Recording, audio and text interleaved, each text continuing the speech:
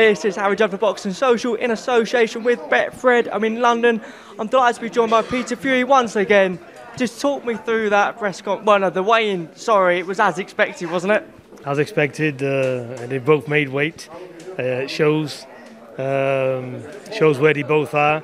You know, the talking's over. It's been a great build-up, and it's been a long fight coming. This, so we got Savannah Marshall, a world champion, and then we've got uh, Claressa with all the belts. So it's going to be an amazing fight tomorrow. In terms of Savannah, she's the only real person that can get under Claressa's skin, it seems.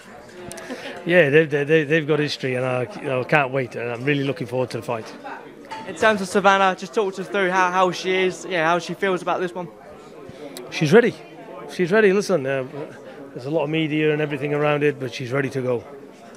And in terms of the one, the fight beforehand, Alycia Baumgardner and Mikaela Mayer, the fight you're a massive fan of, as expected, it kicks off in there, doesn't it? I can't wait for this. You know, I think uh, is a good fighter. I like Mikel Mayer as well.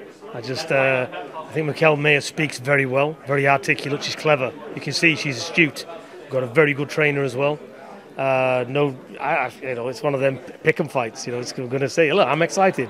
You know, these are the type of fights where the public want to see them.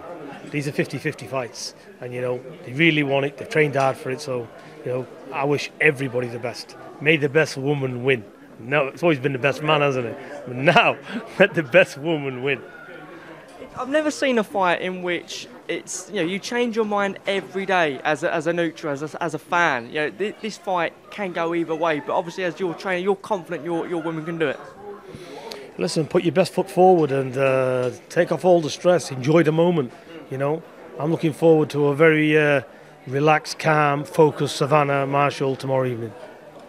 And in terms of this, after Saturday, the rivalry ends, or can we see this continuing on, or a rematch maybe? Can it continue on? Uh, there might be a rivalry, but this is the best thing about this sport. Once it's over, you know it's over. Savannah's got nothing against Claressa. This is strictly business. It's a sport. Everybody's going to get a job to do. When it's over, I'm sure it'll be uh, fine.